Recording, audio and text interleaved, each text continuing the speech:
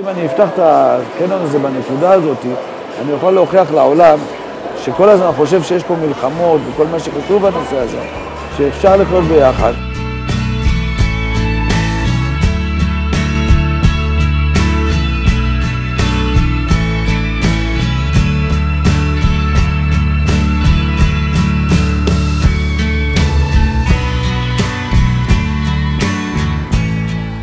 תשעים ותשע אחוז מהציבור, מה שמעניין אותם בסופו של דבר זה שבאמת יהיה שלום, שיהיה להם פרנסה, זה מה שמעניין אותם. יש לנו שלום פה ואין לנו בעיות, אנחנו מסתדרים עם הכל.